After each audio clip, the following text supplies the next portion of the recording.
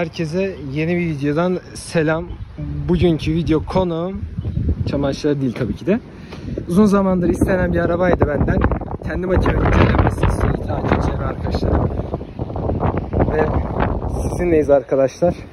Uzun zamandır istiyordunuz.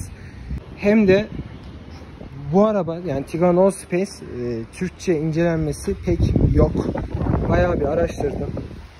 Yani internette pek yok yani. Detaylı anlatan. İçimizde şu şekilde.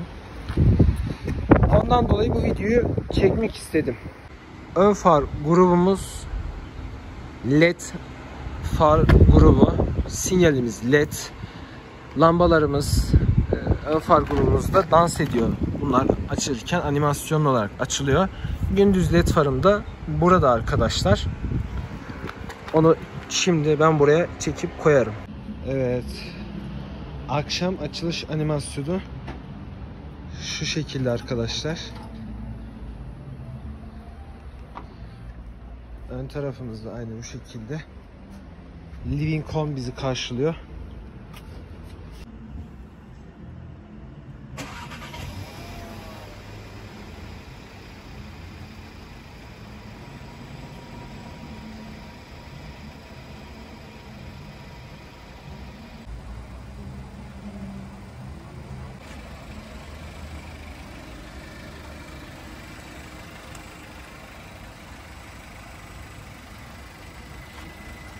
Arkadaşlar bu viraj aydınlatması da şu şekilde ben şöyle göstereyim. Şu an sola sinyal verdim. Normalde şu sol taraf yanmıyor mesela. Sol taraftaki beyaz aram bak. Şu kısım yanmıyor. Sola sinyal verdiğimde bu şekilde viraj aydınlatması yapıyor. Aynı şekilde sağ taraf için de geçerli. Sağ tarafta karanlık. Sağ tarafa sinyal verdim ve sağ taraftaki viraj aydınlatmasını aktifleştirdim.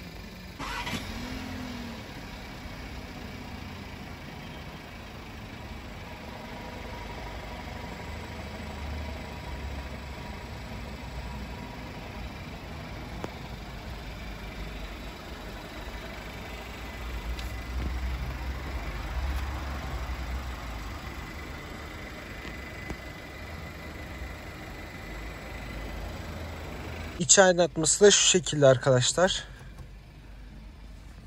Şu şekilde bir beyaz var. Şöyle ayak tabanlarının orası. Kapı içleri bu şekilde. Panjur kısmına geldiğimizde ön tarafta parlak bir panjur bizi karşılıyor. Plastik olsa yan amblemi ve Arline logomuz bizi karşılıyor. Arkadaşlar biraz kirli kusura bakmayın. Ankara 1-2 haftadır sürekli yağmur yağıyor. Ondan dolayı ben de yıkıyorum ama yine de kirleniyor. Alt tarafa geldiğimde ise alt tarafta parlak siyah piyano bilek ve krom detaylar bizi karşılıyor. Bu logomuzun e, plastik olmasının sebebi opsiyon olarak şerit takibi alırsanız geliyor. Bizde de şerit takip yok. Şerit takip ve 360 derece kamera olmadığı için arkadaşlar burası plastik geliyor. E, gırtlak dolu yani iç dış R-Line'den tek eksiğim benim.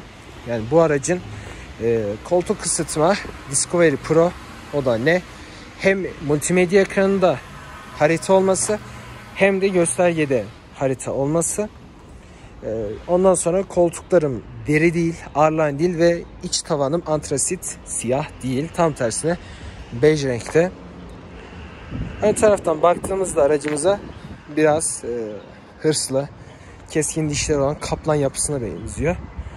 Gayet güzel. Trafikte şey olarak karşılanmıyor. Hani bir Kayan, bir Makan, bir GLB ya da G serisi Mercedesler gibi karşılanmıyor. Tam tersine spor araba görünümü olduğu için R-Line'den kaynaklı spor araba olduğu için gayet uyumlu karşılanıyor trafikte. Jantlarımızı gelecek olursak bu jantlar e, Golf 7.5 7.5 R'larda geldi. Golf 7'lerde de vardı. Pirelli Scorpion serisiyle geliyor. Bizdeki Pirelli Scorpion 245 255 45 R 19 inç jant. 4 yıldır yazdıkları üstünde. Ama hafiften dişleri e, bırakıyor. Değiştireceğiz biz de. Yan taraf dodiklerimiz parlak siyah ya da vücut rengiyle uyumlu değil. Siyah bir tasarım var. Ona keza arka taraflarda öyle. Ayna kapaklarımız altları da o şekilde. Ama ilerleyen dönemlerde belki babamla istişare edip vücut rengiyle uyumlu ya da parlak siyah yapabiliriz buraları. Ayna kapağımız ayna kapağımız jant ayna kapağı ve rol barlarla birlikte uyumlu metalik gri renkte. Bunun haricinde anahtarsız giriş KLS Go var. Şu şekilde de açılıyor arkadaşlar. Anahtarsız çalıştırma, hayalet gösterge vesaire hepsi mevcut. Şu şekilde. Şurada ekipmanlar falan var. Hepsini şimdi birazdan değineceğim. Yine yan tarafta park sensörünü görüyorsunuz. Arka tarafına geldiğimizde ise R-Line görünme sahip olduğu için arkadaşlar arka tarafta siyah parlak siyah renkte gelen bir spoilerımız var. Farlarımız şu şekilde Highline stoplarımız var. Şöyle. Kendisinden orijinal geri görüş kameramız var. Şu da geri görüş kamerasını temizlemek için e, silecek suyu. Öyle tarif edeyim. Sol tarafta Tiguan Allspace yazısı var. Sağ tarafta herhangi bir şey yok.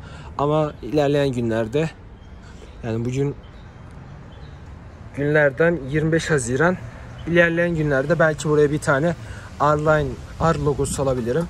Yani buradaki asıl amacım arka taraftan bakıldığında e, bir Golf R esintisi versin diye.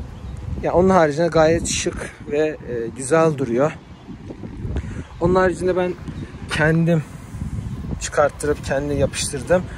Atatürk yazısı ve Das Auto var. Normalde burada arkadaşlar işte Doğuş Oto'ydu. Ondan sonra Volkswagen Arca'ydı. Aldığınız yerlerde de Arkas'tan aldığınızda buralarda yazısı yazar. Hani Volkswagen mavili. Arkası ya da Doğuş Oto. Ben onu, biz onu çıkarttık.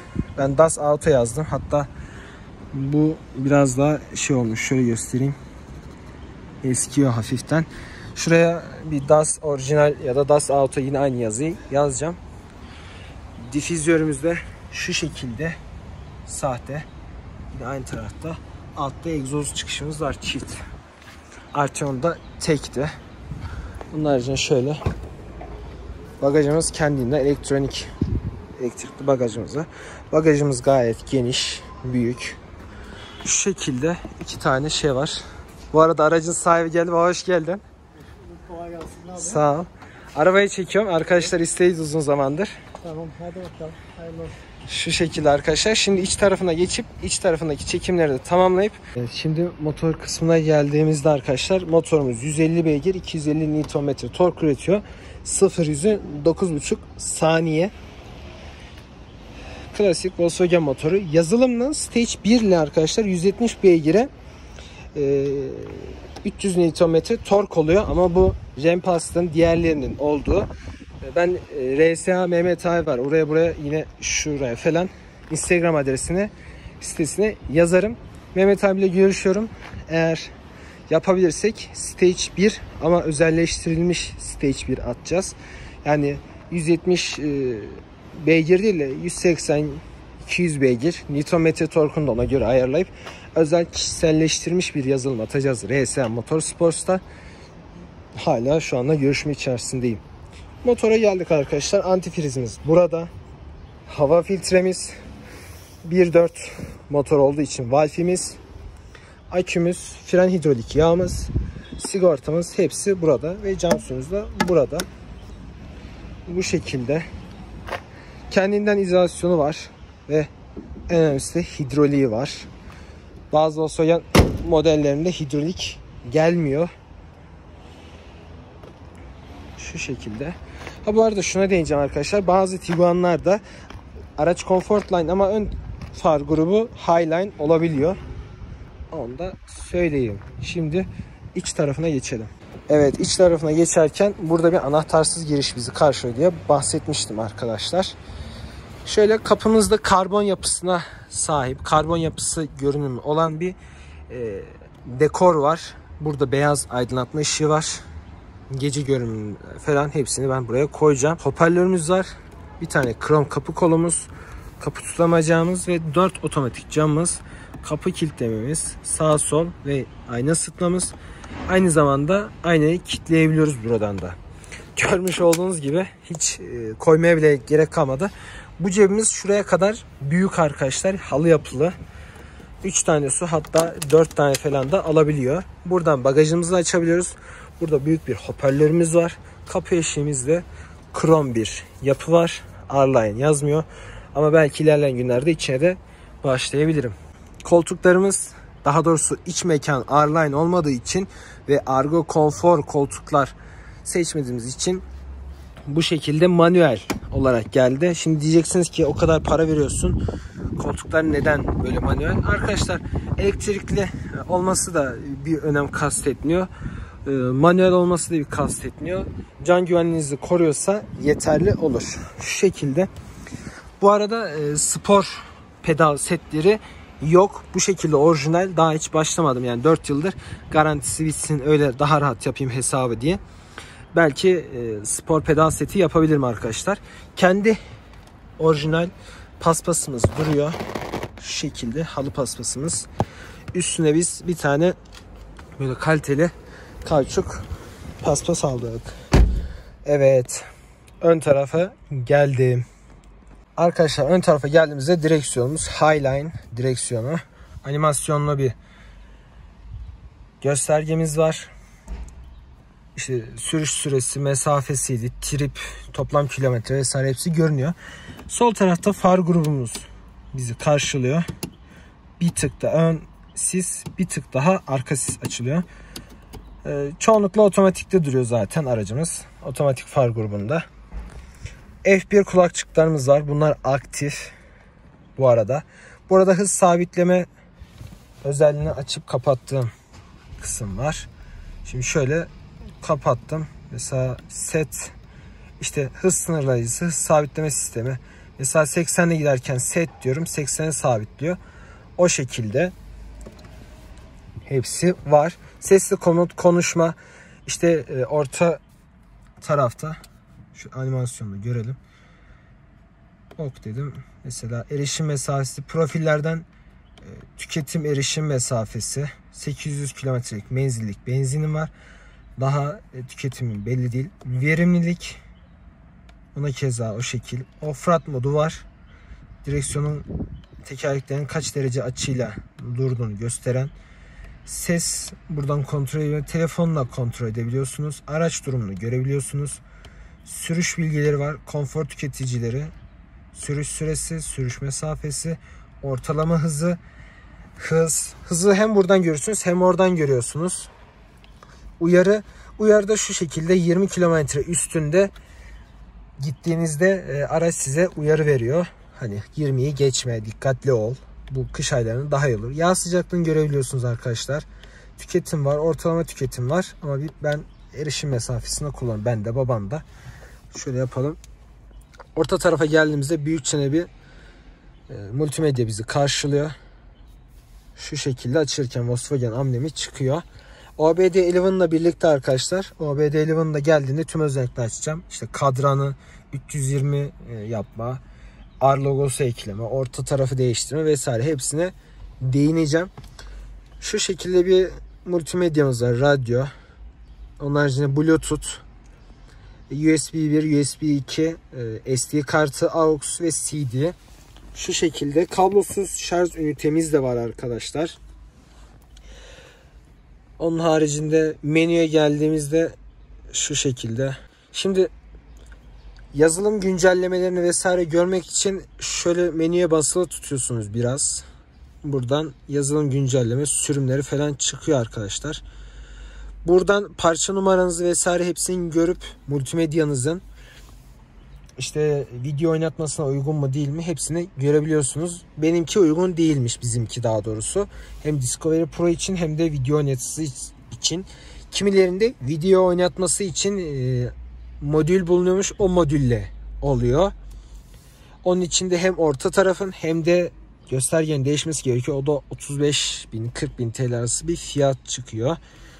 Ee, ama böyle sürekli maç izleyen birisiyseniz hani sürekli yolda işte film izleyeyim harita olmadan asla yapamam diyorsanız arkadaşlar onları taktırabilirsiniz. Onlar kullanıcı tercihine kalmış bir şey.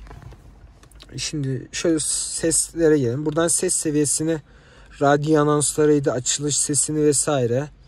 Bas, tiz. Bu arada ben snap atarken çoğu arkadaş istiyor abi basların, tizlerin nasıl, hangi ayarda kullanıyorsun diye. Volkswagen gruplarında hep bu şekilde kullanıyorum. Balans da şu arkadaşlar. Bir saniye.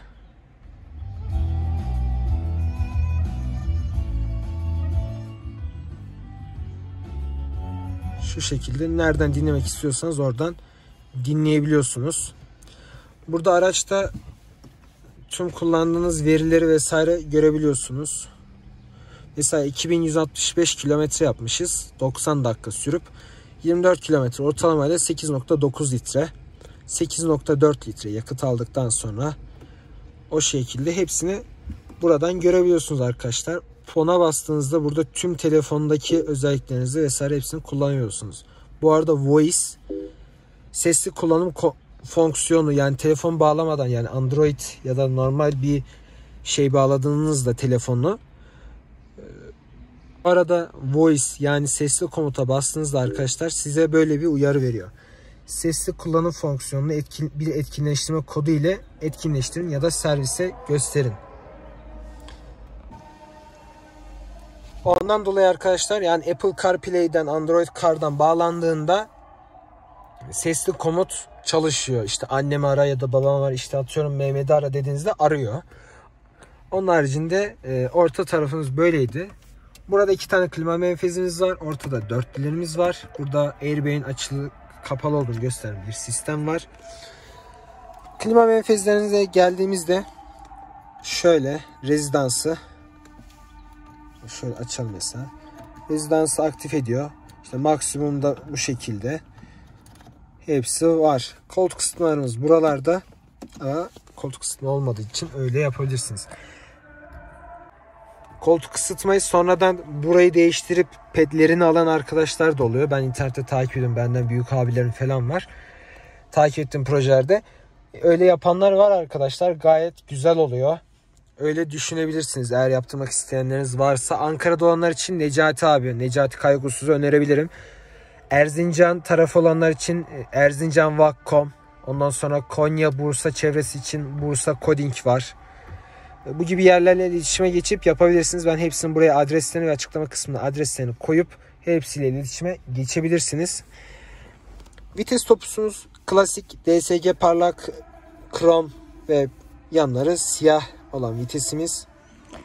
Sağ tarafta start stop'u kapatma, park asistanı. Bu park asistanı da arkadaşlar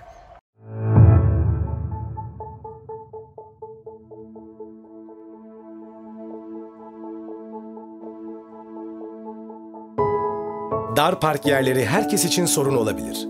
Park asistanını çalıştırdığınızda ultrasonik sensörler park yerinin yeterince geniş olup olmadığını hemen tespit eder. Park etmeniz için önden ve arkadan 40 santimlik bir mesafe yeterlidir. İşte park yeri. Akıllı direksiyon asistanı ideal park manevralarını hızlı bir şekilde hesaplıyor. Sistem otomobili yönlendirirken sürücü yalnızca gaz, fren ve debriyajı kontrol ediyor. Park asistanı gerektiği takdirde birden fazla manevra yardımıyla golfü park ediyor. Otomobilin ön ve arkasında kalan bölgeler için sesli ikaz sunan park pilot her şeyi daha da kolaylaştırıyor. Dar bir yerden çıkmak da sorun olabilir. Park asistanının bu sorunun üstesinden gelmesi için yalnızca 25 santimlik bir boşluğun olması yeterli. Mesafe sensörleri bu işi de çocuk oyuncağına çeviriyor. Dikey park yerleri de park asistanı için sorun değil. Park asistanı gerekli manevraları yaparken park pilot da boşlukları algılıyor. Park asistanı ve park pilot. Hızlı, rahat ve otomatik park etmenin yolu. İki tane araba var ve ortası boş. Ortaya giremeyeceksiniz yani gözünüze kestiremediniz. Park asistanını açıyorsunuz. Mesela atıyorum bu şekilde düşündük diyelim. Sağ sinyal veriyorsunuz. Ama ilk önce sistemi aktif edip Geri vitese verdik mesela. Geri vitese verdik. Şu şekilde. Kendisi görüyor ve bu şekilde aktif ediyor. Şu anda kapatıldı. Kontrol kontrol üstlenin diye bana uyarı verdi. Bu gayet güzel, e, etkileyici bir özellik. Yani gözünüzü kestiremediği yerleri çapraz olsun, iki araç arası olsun. E, sizin için gayet güzel olur. Burada e, park sensörünü kapatmamız var. Auto hold'umuz var. Burada bir herhangi tuşumuz yok. 4x4 yani 2.0 olsaydı burada bir ayar tuşumuz olacaktı. Onun haricinde şöyle büyük bir cebimiz var. Şöyle hareket yukarı ileri geri hareket ediyor. Burada iki adet bardaklığımız var. Malum Covid-19'un etkileri hala sürüyor. Ne olur ne olmaz diye. Şu şekilde maskeler var. Burada iki adet bardaklığımız var arkadaşlar. İçeceklerinizi koymanız için ve küçük de bir cep var. Herhangi bir USB girişimiz yok. Buradaki cebimiz ise gayet geniş, derin. Yani şu şekilde görebilirsiniz. Apple CarPlay için kullandığım kablom vesaire haritaydı vesaire hepsi var. Şu şekilde. Şimdi bir de arka tarafına geçelim. Arka tarafındaki yaşam alanına bakalım. Ve test sürüşüne geçelim. Yukarıda şöyle kapı kapalıyken işte lambalarımız açılsın falan hesabı hepsi bu şekilde yani otomatikman lambaları açabiliyorsunuz şu şekilde.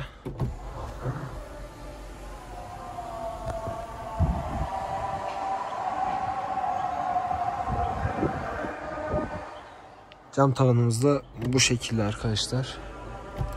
Perdeyi geriye kadar ittirebiliyoruz. Yani gece sürüşlerinde olsun güneş fazla olmadığında bu şekilde bir sürüş ferah gayet güzel oluyor.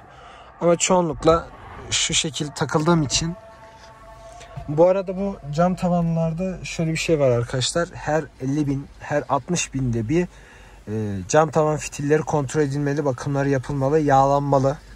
Onun haricinde yoksa zararlı oluyor. Zararı oluyor. Şu şekilde torpidoda geldiğimizde torpidomuz gayet geniş. Buzdolabımız var. Burada klimayı açtığınızda soğuğu. Buradan da soğuk üflüyor. Onun haricinde CD'li ve SD kartlı olan versiyonu bir adet de sarı lambamız var. Aydınlatmak için.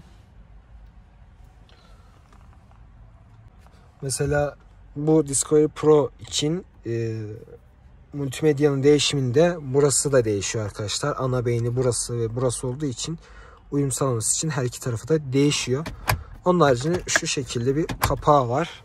Göğüs yumuşak. Şuralar da yumuşak. Buralar hafif sert. Bunlar sert. Burada bir tane cebimiz var. Şöyle halı desenli.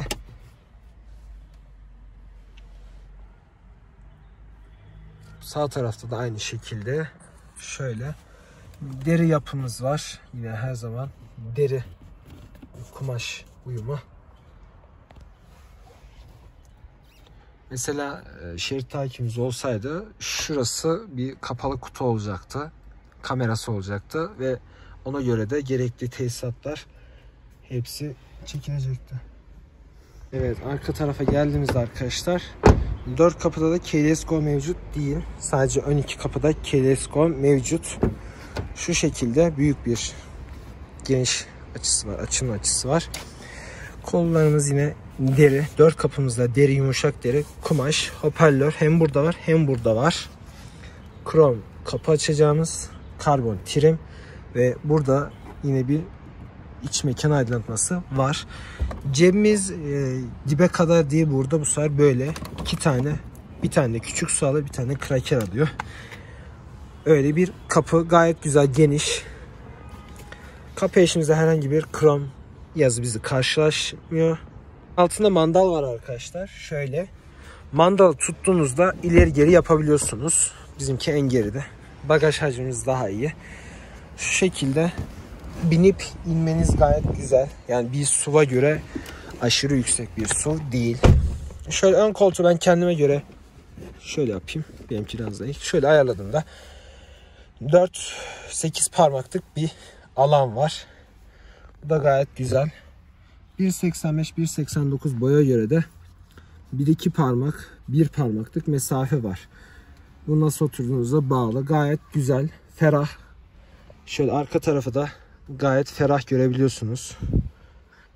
Yani ön tarafı da görmenizde herhangi bir sıkıntı yok. Cam tavan zaten buraya kadar geliyor. Orta klima orta tarafa geldiğimizde şaft tüneli şöyle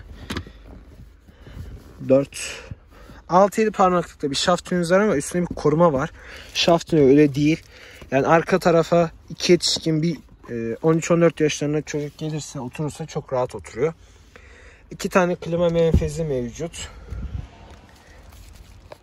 Buradan e, klima ayarlarını yapabiliyorsunuz.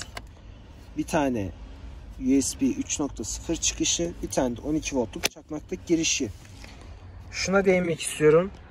Bu arka taraftaki 12 voltluk çakmaklık girişi ve USB girişi Comfort Line olan modellerinde yok. Highline alan modellerinizde var. Highline kullanılan kullanıcılarda görüyorum. Onlarda var. Ama Comfort Line'larda bu yok. Sadece 12 voltluk giriş var. O kadar. Burada koltuk arkası iki tane masa görüyoruz. Buradan meyve koyacağınız şekilde. Bunlar da 1.5 motorlu araçlarda bazı paketlerde var. Yani denk gelirse oluyor denk gelirse olmuyor bu masalarda. Bizimkinde masalı versiyonları var. Bu da gayet güzel arkadaşlar. Uzun yolda arkada atıyorum atıştırmalık bir şeyler yiyeceksiniz. Aç çıktınız. Bu gayet güzel oluyor. Hani üstünüzde sürekli dökmektense burada gayet güzel. Burada iki tane cebimiz var. Bu cepler niye sarkık değil diyeceksiniz. Arabayı pek kullanmıyoruz. Ondan dolayı gayet güzel şöyle. Kal e, koltuk altında yine şeylerimiz var. Klima menfezlerimiz var. Gayet güzel. Kliması da gayet etkili arkadaşlar. Soğuk. Onun haricinde B sütunlarımızda iki tane kapı eşiklerinde, kapı direklerinde e, asacaklarımız mevcut. 6 tane airbag var. 1, 2, 3, 4, 5, 6 tane perde airbag mevcut arkadaşlar. İç aydınlatmanızda e, sarı değil beyaz. Yani bunu değiştirmedik de biz zaten. Gayet güzel şekilde. Bu arada e, lastik basınçlarını nasıl öğreniriz diye sorarsanız lastik basınçları her kapı her araçta farklı oluyor. Volkswagen gruplarında burada oluyor. Çağrı merkezinde vesaire. Lastik basınçlarını oralardan öğrenebilirsiniz. Arka tarafa geçtiğimizde arkadaşlar Highline stoplar bizi karşılıyor. Sis lambamız tek. Üçüncü stopumuz burada. Frene sıktığımızda bunlar dik oluyor. Onun haricinde plak aydınlatmamda beyaz. Hazır lambaları da yakmışken Evet.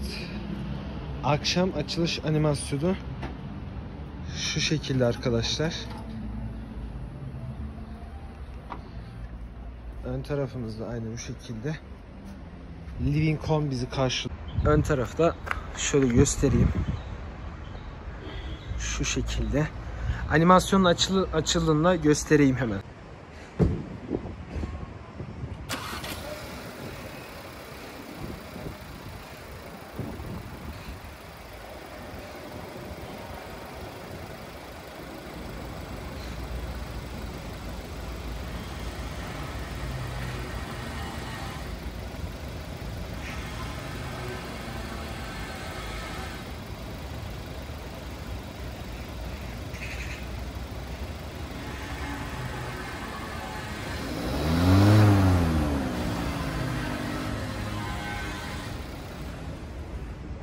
İşte ben o animasyonun açılmasını akşam üzeri çekerim.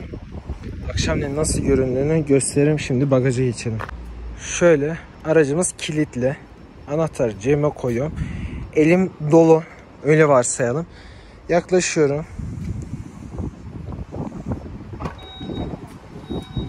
Bagajımız açıldı. Malzemeleri koyduk. Geri çıkacağız. Buna bir kere basıyoruz. Şu şekilde geri kapanıyor. Bu arada ben Instagram'da gördüydüm. E, Skodacı arkadaşlar paylaşmış. Mesela basılı tuttuk. Açılıyor. Bunlar diğer arabalarda yok. Sadece Skoda'ya özel dediler de. Anahtardan da basılı tuttuğunuzda yineden açılıyor. Şu şekilde bir stepnemiz var. Bu stepne kalkıyor, ileri gidiyor. Şu anda biz günlük kullandığımız için bu şekilde koruma altına aldık. Burada bir tane sarı lambamız var. Bu sarı lambayı söktüğümüzde böyle bir aydınlatma veriyor. Şöyle yani. Gayet güzel. Onun haricinde buraya taktığımızda şu şekilde. Bu arkadaşlar e, mıknatıslı olduğu için böyle araç üzerinde atıyorum kaputta bir işlev yapacaksınız. Koyuyorsunuz. Duruyor. Bunun araca herhangi bir zarar olmuyor. Aracınızda fener taşımıyorsanız sizin için en büyük avantaj. Burada iki tane poşet tutamacı var burada bir tane. Buradan koltukları yatırabiliyorsunuz her iki taraftan. Orada bir tane 12 voltluk çakmaklık girişi var. Bagaj buzdolabı için ve sarı lambamız mevcut. Orada iki tane e, zincir tutturma yeri var. Bir tanesini biz o tarafta kullanıyoruz. E, Stepne arkadaşlar 3 kademeden oluşuyor. Bir bu kademe, bir onun alt kademe, bir de en alt kademe. Biz en alt kademede kullanıyoruz. Şöyle stepneyi de göstereyim. Stepne'de gelen jant kenar yanaklı böyle çok yani iki parmaklık, üç parmaklık oluyor. Çok küçük olanlar var. Öyle değil. Bunun sadece e, siyah demirli olanı düşünün. O geliyor arkadaşlar. Onun haricinde sağlık ekipmanı falan hepsinin yanında veriyorlar zaten. Gayet güzel. Burada da reflektörümüz mevcut bagajımızda. Allah korusun herhangi bir kazada arka taraftaki uyarmak için konuldu. Buradan mesela şey oluyor. Elektrik hafızalı olmuyor. Normalde buradan çekip kapatabiliyorsunuz. Tekrardan oradan kapatabiliyorsunuz. Bu şekilde. Arka tarafta bir de şu difüzörlerimiz gerçek değil. Sahte. Şöyle çift çıkış var. Arteon'da e, tek çıkış vardı hatırladığınız üzere. Yine park sensörlerimiz burada difüzör üzerine konumlandırılmış. Bunlar e, reflektör arkadaşlar. Kesinlikle yanmıyor. Arkadakini uyarmak için burada da çeki demiri mevcut. Ama e, difüzörü gerçeğe çevirmek için orta katalizör iptalinden yani ortadan itibaren kestirip yeni tesisat var. Çektirebiliyorsunuz ya da internette tesisatları var 4x4'ler için. Onlardan temin ettirip egzozcu da yaptırabilirsiniz. Biraz daha sesi geliyor. Yani şu anda stok olduğu için pek fazla bir sesi çıkmıyor açıkçası. Hafif bir dip gaz yaptığında geliyor. Onun haricinde böyle de arkadaşlar dış anlatımı. Bazı araçlarda bazı SUV'larda diyeyim bu park sensörlerini direkt hemen buralara konumlandırıyorlar. Volkswagen bunu parlak siyah üzerine yapmış. Pek fazla görünmüyor. Yani şöyle bakıldığında bunda park sensörü yok diyor mesela. Böyle konumlandırılması gayet güzel olmuş. Birazdan da test sürüşüne geçeriz. Evet şimdi test sürüşüne çıktık babamla. İşimiz vardı hazır test sürüşünde çekelim dedi. Şu şekilde 19 inçlik jantlar var üzerimizde. Orijinal kimilerinde 18 kimilerinde 17 inçlik jantlarla geliyor. Babam birazdan kasislerden vesaire geçerken o sesini falan içeri ses almasını falan hepsini duyarız. Hatta şöyle bir kablo tesisatı gibi bir yerden geçtik. Hafif sallıyor sizi öyle ciddi anlamda yani taktuk bir sallaması yok. Baba şimdi arabaya alalı bir 4 sene falan oluyor. Ee, tabii 4 sene boyunca da artılarıydı, eksileriydi, memnunluk kısmı, memnuniyetsizlik kısmın hepsi vardır. Memnun kısımları neler ve neden biz bu Jeep'i aldık? Yani neden Volkswagen? Daha evvelden Bora'mız vardı. Bu Bora memnun kaldığım için üstüne alalım dedik ama aile büyük olduğu için e, küçük araba olmayacak, Passat olmayacak. E, Mecburen bir su türü bir araba alalım dedik. O yüzden dolayı bunu tercih ettik. Hem iki tane oğlum var. İşte birisi Mert, birisi Umut. Onlar ileriki günlerde rahatça sürebilsin diye. Eşim bana daha çok yardımcı olacak inşallah. Annem de O burada annemin sürecek sayesiyle şey oldu. O sürecek diye ağırlık verdik. Özellikle böyle bir arabayı tercih ettik ama memnunum. 4 yıl içinde gayet memnunum. Hiçbir sıkıntım yok. Peki baba benzinli aldık biz de. O zaman da e, iki sıfırları vardı yani dizelleri. Benzinde memnun musun? Hele ki bu zamlardan sonra yani hiç ya ben arada sırada hani denk geliyorum da e, Zamlar mutlaka etkiliyor. Ama uzun yolda her arabanın yaptığı gibi gayet ekonomik, gayet tasarruflu bir araba ve sürüş keyfi var. Yani arabada böyle yorgunluktan daha ziyade, sürüş bir keyfi var. Mesela arkadaşlar şu anda 120 ile gidiyoruz ve ses alması bu şekilde yani ses içeri pek fazla almıyor. Şimdi araba daha 19.120 oldu şu anda arkadaşlar. Ee, sürekli Doğuş Oto bakımlı, Doğuş Oto servisli biz servisine götürdük. Orada bakımlı yaptık. Hava filtresi, yağ filtresi falan.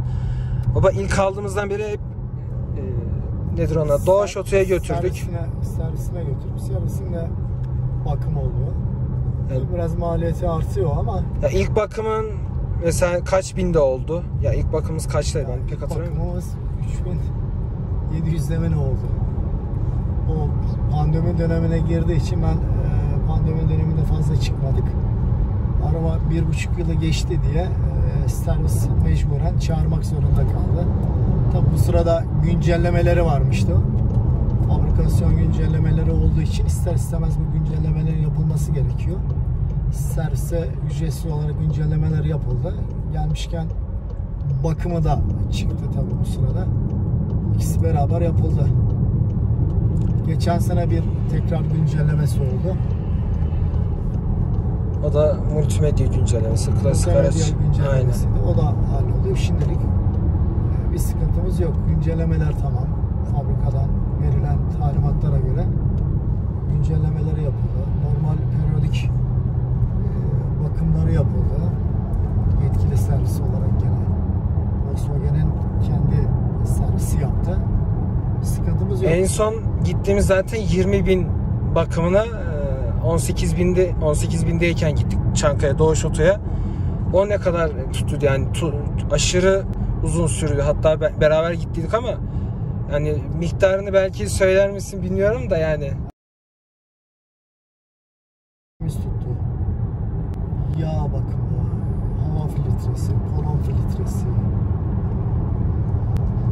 Ama benzin filtresi değişmesi. ama şeylerimiz hariçti. E, Fren hidrolik yağ e, sileceklerimiz falan hariç onu bize sordulardı.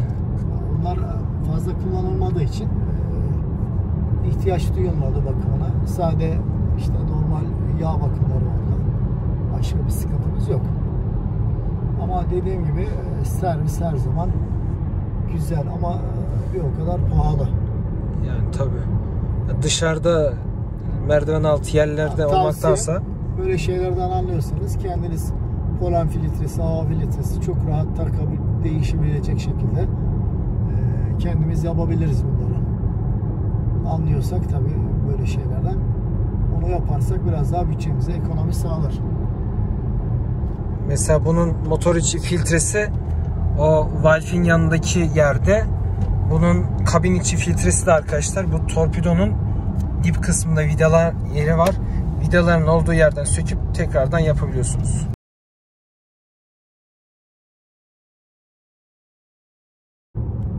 Bizimki baba mesela Arline yani iç Arline'lara göre sadece koltuk ısıtmasıydı ve haritası eksik. Ee, bu yönden yani olsaydı iyi olur muydu diyorsun yoksa eksik olması yani pek de bir anlamı yok mu diyorsun? Problem yok yani ben çok şükür memnunum arabamdan. Navigasyonunu ana ekranda görmek e, artıydı. E, Koltuk ısıtması olup koltuklarımızın deri olması artıydı. Yani bunlar e, beni pek şey yapmıyor. E, ya olsa iyi olurdu ama çok şükür. Ya bunu biz zaten bunu direkt aldığımızda bunları sordular bize ekleyelim eklemeyelim hesabı. Direkt aldığımız için gerek yok. Ama bunu sonradan da değiştirebiliyorsunuz arkadaşlar. Multimedyası ve göstergesi olsun hepsini değiştirebiliyorsunuz. Koltuklar ona keza gayet iyi. Babam deri koltuğu pek sevmiyor. Ee, Hani kumaş Bora'dakinde kumaş mesela. Kumaş memnun kaldığımız için daha iyi. Bir de Ankara'nın malum yazları felaket olduğu için, yani aşırı sıcak olduğu için bu yıl pek fazla yok ama e, aşırı sıcak olduğu için o deriye oturduğunuzda zaten deri aşırı bir ısınacak. Kışın zaten e, onun ısıtması var. Babam zaten bahsetti orada. Onun enerjisini aküden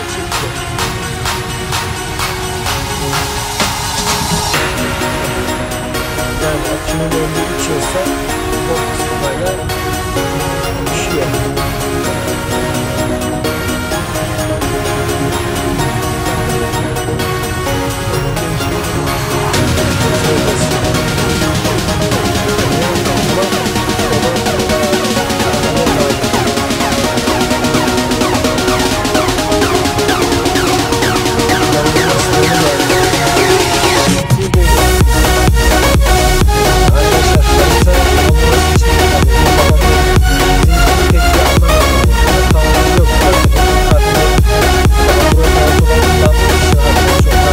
araba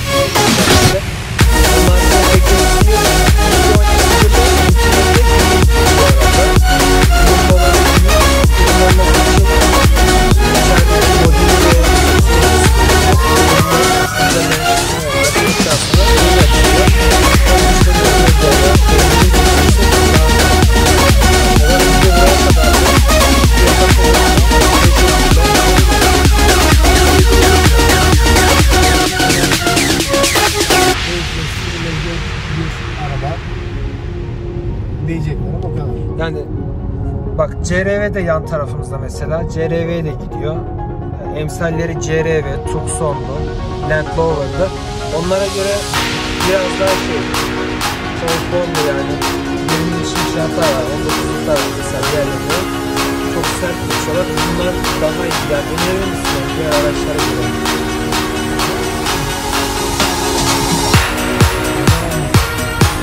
Bol söyleyen Arkadaşlar bir sonraki videoda görüşmek üzere. Kendinize iyi bakın. Kanala abone olmayı, unutmayın.